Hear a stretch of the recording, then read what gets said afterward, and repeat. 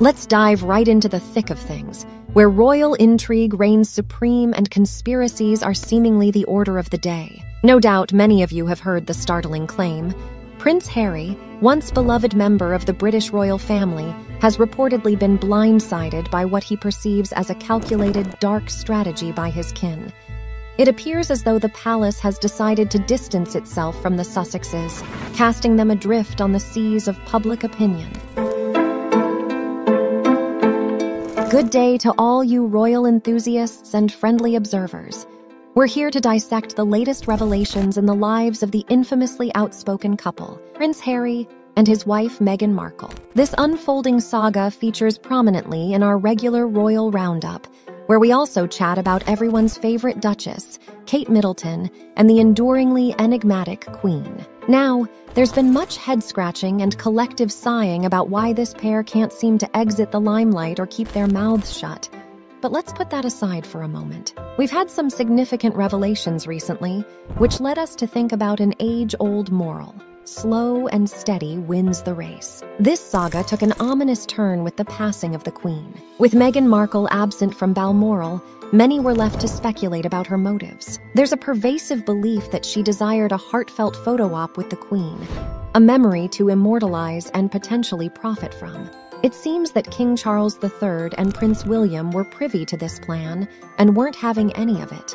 There were subtle changes to tradition, like Harry being seen in civilian clothes during the vigil, absent the Queen's epaulets, and standing in the second row, away from his wife. Even their public appearances were controlled, as they were often flanked by security to prevent Meghan from capturing an image of her laying flowers in honor of the Queen. In a sudden shift of power dynamics, Prince William and Kate were promptly named Prince and Princess of Wales. As for Harry and Meghan, their roles seemed to oscillate during the coronation period, causing considerable speculation. Ultimately, Harry only made one appearance in the midst of the three day celebration. With various documentaries, books, and interviews being aired on late night shows, the couple's reputation was scrutinized further. It was around this time that Frogmore Cottage, their UK residence, was reportedly revoked removing Harry's position as a state councillor in the process. Edward was subsequently added to the list, seemingly pushing Harry and his uncle Andrew further down the line of succession, perhaps even out. Going forward, it appears that any housing arrangements for Harry would have to be orchestrated through the king, leaving no royal properties accessible to the Sussexes. The keys to Frogmore were allegedly retrieved, effectively denying Harry access to Windsor altogether. To top it all off, there were no public acknowledgments of their daughter Lilibet's birthday or christening. Interestingly, there are reports of an act being pushed through Parliament aimed at stripping the Sussexes of their titles. It seems that Kate and the Queen might have worked together on a cryptic recollections may vary statement.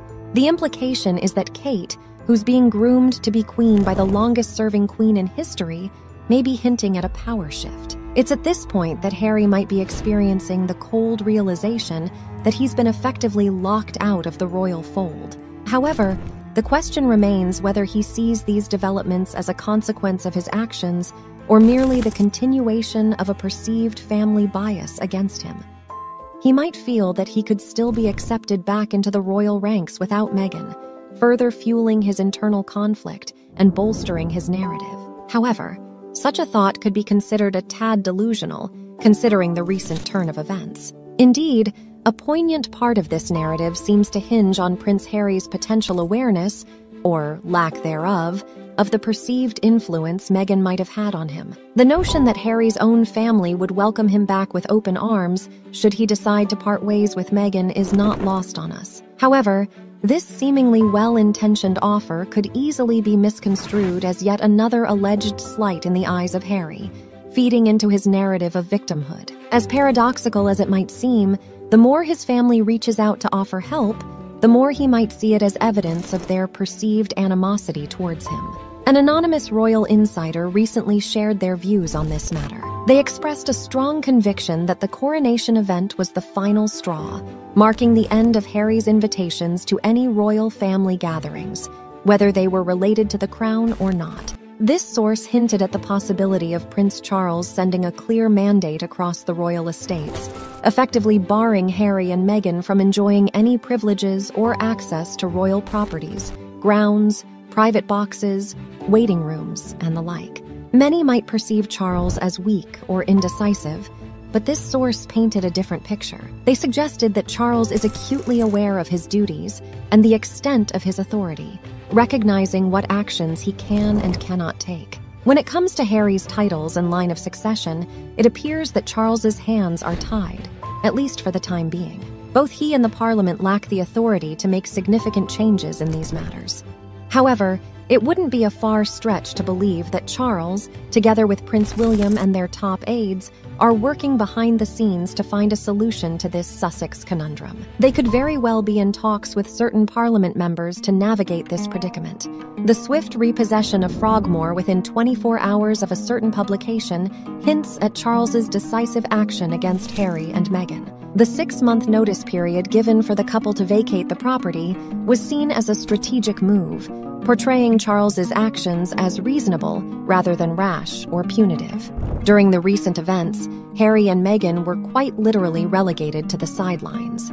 No coveted spots on balconies, no opportune photo moments with the young royals, and no room for negotiations regarding their seating arrangements. It's uncertain whether Harry's placement at the rear during these events, donning a red feather, was deliberate, but there's speculation that it could very well have been. Similarly, the candle at the funeral, whether intentional or not, might have inspired further similar placements, symbolically distancing him from the royal family. If the recent events are anything to go by, it seems the couple may not be gracing the royal events with their presence any longer. Trooping the color, the Queen's annual birthday parade was seemingly the first occasion where these new rules were put to the test. Interestingly, the event unfolded with little to no controversy or drama, which bodes well for future royal gatherings. But amidst all this, one can't help but wonder who among the high profile figures will continue to risk their reputation to defend Harry and Meghan, especially as they seem to be on a collision course with the British royal family.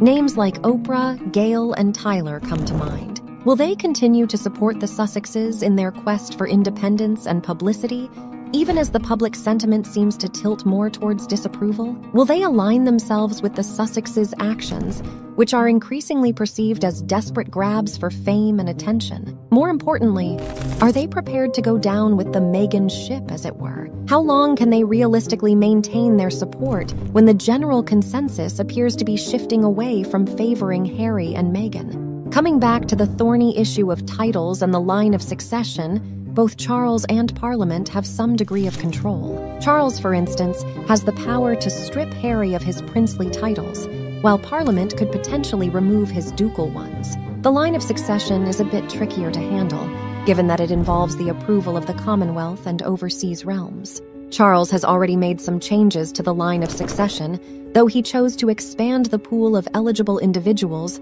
rather than exclude his own son. It seems erroneous to claim that neither Charles nor Parliament has any authority in these matters. While some doubt that Charles will make any drastic moves, it's not out of the realm of possibility. However, one thing is certain Charles and William, along with their top aides, are likely working behind the scenes, possibly in collaboration with certain Parliament members, to address this ongoing Sussex dilemma. As far as Harry's attendance at future family events, it's almost certain that he would be invited to his father's funeral. Charles may not have the power to make significant changes right now, but there's a strong belief that he and William are laying the groundwork for some form of resolution to this saga. In this context, there are likely many plans under consideration for the future roles and responsibilities of Harry and Meghan. While making adjustments to royal titles and the line of succession is a tricky process, it's also important to ensure that any changes made do not provide unchecked power to either Parliament or the reigning monarch. Therefore, the whole process has to be handled meticulously, leaving no room for potential loopholes. The power to make such changes should be designated to the right individuals or bodies, but with explicit limits to avoid misuse that could potentially harm the monarchy in the long run. The formulation of such a system would indeed require considerable time and plenty of dialogue with all stakeholders involved. One viewer's perspective illustrates this complexity perfectly. They expressed their initial frustration with Buckingham Palace for repeatedly extending invitations to Harry and Meghan for major royal events, despite the couple's seemingly disrespectful actions like the explosive Oprah interview and their involvement in the reality show, Spare. Their invitation to the coronation, in particular, had been a significant cause for concern for this viewer, given the couple's critical comments about the king, the monarchy, and the Commonwealth. However, in hindsight, this viewer now recognizes that the palace might have been playing a longer, more strategic game. By continuously inviting Harry and Meghan to royal events, the family avoided casting them as victims being ostracized by their own relatives. Instead, this approach painted the royal family in a gracious light, continuously welcoming Harry and Meghan despite ongoing criticisms from the couple. This long game strategy seems to have worked to the monarchy's advantage as public sentiment has reportedly shifted, with many now viewing Harry and Meghan more critically. The couple's diminishing favor with the public, both in Hollywood and the UK, appears to be causing a gradual shift away from their influence. Meanwhile, the royal family cannot be accused of giving the cold shoulder to the Sussexes, thereby negating any claims of unjust treatment. So, what do you make of this gradual distancing strategy employed by the palace towards Harry and Meghan? Your thoughts on this matter would be most interesting to us. Remember, this is an ongoing dialogue, and your participation is highly appreciated. If you found this content informative, feel free to like, share, and subscribe for more updates. We greatly appreciate your time and engagement. Until the next time, take care and goodbye.